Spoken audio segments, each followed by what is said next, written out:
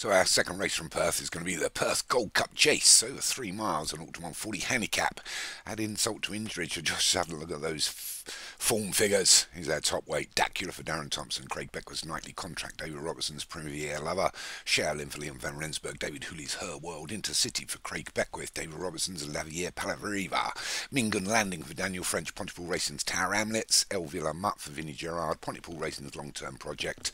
Vinnie Gerard's Pompey Millennium. Royal Wedding for Matt Cooper. Pedrick Home for Johnson's Frontiers. Daniel French's Higher Calling.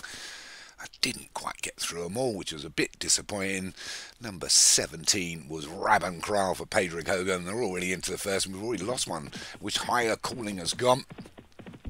Unfortunate there. I think that's uh, Daniel French horse. Goes at the first of the 19.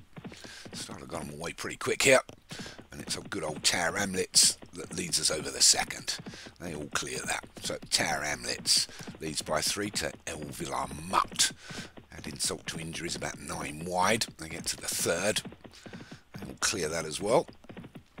But it's Tower Hamlets that's leading by five.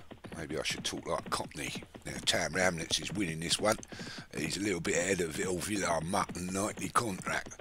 And we've got add insult to injury. Getting to this one, it's a water. They all get over that. Nobody gets wet. Anyway, Tower Hamlets, that's where I live. You know where Tower Hamlets is in London, isn't it? Ooh, I'm going to swear there. South London, innit? So Tower Hamlets leads from Primavera Lover in second, Highly Contracts third. El Villa Mutt's fourth, Rabban Kral fifth. They've already been dragged out. That turn there has taken half the field away. As they get to the fifth, the leaders are still over it. Oh, it's going to be a fun race. And we're just down one. So Tower Hamlet still leads from Primavera Lava. Then we've got Nightly Contract, don't we? And El Villarma and Rabban Crow who's moved up well. Then I can't see who's that. Lavier Palariva. Yeah, she's there as well. And then Dacula a little bit further back with Pompey Millennium. But Tower Hamlet still leads us gets to this big ditch, gets over it well, as does the rest. They do, including that loose horse. Well done, boy. Anyway, Tower Hamlet still wins, leads, not wins, might win, you never know. Let's wait and see. Lovely jubbly as they go over the seventh. They all clear that as well, didn't they? Yeah, they're all jumping pretty well. Anyway, Tower Hamlet still leads the Perth Gold Cup chase by about five to Primavera Lover and Highly Contract. They're a length away from Rabban Crow and El Villar Mutt. You know what I'm saying? Anyway, a couple back then, a. Sounds like Dracula, but Dracula. Missed out the R, obviously, when he was spelling it. Lavier Palariva's there, and also Pompey Millennium. Then we've got Royal Wedding. Yeah, we'd like the Royal Wedding. No, we wouldn't. I don't like the Royal Family. Bloody bunch of scroungers. Anyway, Tower Hamlet still leads us from Highly Contract. Highly Contract. Uh, what sort of yeah, all right, Primavera Lover and El Villar Mutt, and then Rabban Crow and Dracula, or Dracula if you want to call it that, and then Pompeii Millennium and Royal Wedding as they go over that big ditch. They're all still in there. Oh no, oh, I thought we'd lost one, but no, they're all still up there. We could go all the way to the back, but we can't really see them. But there's a few at the back in the city, long-term project, Shaolin I can't see, or a world. But Tower Hamlet's still leading it for us, lovely, from Primavera Lover as they go over the 10th. Oh, we lost one there. It's Rabban Crawley that's gone. Yeah, don't want that anyway. Don't want no Germans, do we? Sounds a bit German, that. Don't like no German names. Anyway, they go over the 11th. They're all going to clear that, and all they do, right at the back, is Shao Lin. Thinks he's a Kung Fu master. Anyway, not doing too much Kung Fu now, is he? Anyway, Tower Hamlets from Highly Contract, Dracula, they're all within lengths of each other now. Primavera Lover, El Villama. Then we've got Laviera Pavariva as they all go over that water again. That old Kung Fu one at the back ain't jumping so well, is he? Anyway, Tower Hamlets still leading us from Dracula, or is that Dracula?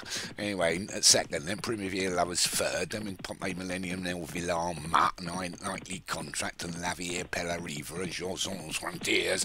Yeah, we don't want to hear that froggy stuff either, do we? It's Britain, mate. We want to stay all like Britain for Britain, England, England, you know what I mean? Shaolin still at the back, jumps over it. We're only down two, so they're not doing pretty well. We've still only just got a mile to go, and it's Tower Hamlets from Primavera Lover in second, then Dracula, and then those couple of green ones, Pompey Millennium and El Villar Mutt. I got a mutt, it's an XL bully. Comes out and beats people up most of the time. Pull your legs off. Anyway, Tower Hamlet's still our leader over this ditch. That's the 14th.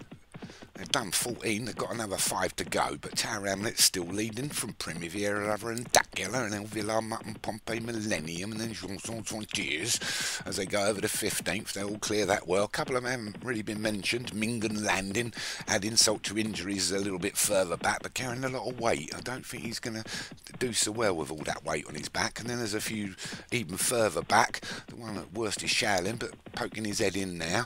But it's still this Tower Hamlets, isn't it? South London, come on. Down inside the five now. Tower Hamlets from El Villarma, Primavera Lovers. They go over the 16th. This one for Grey Clark Plucks leading it really well. So Tower Hamlets, Pompeii Millennium.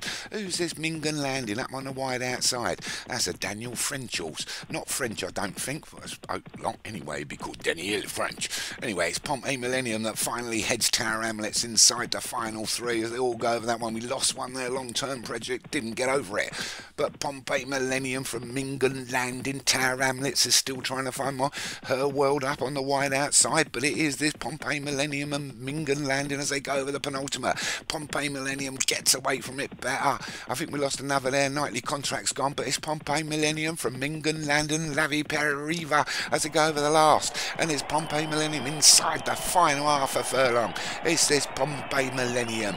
I've been at the Millennium Dome, it was rubbish. Anyway, Pompeii Millennium from Mingan Landing, Lavier Palariva, Tower Hamlets is going to be fourth in the end, but a good win there for Vinnie Gerard. Wins the Perth Gold Cup chase, doesn't he? With Pompeii Millennium. Well done. Give yourself a pat on the back, mate. You trained that beauty there. So in second one's Lavier Palariva for the Scots boy up north.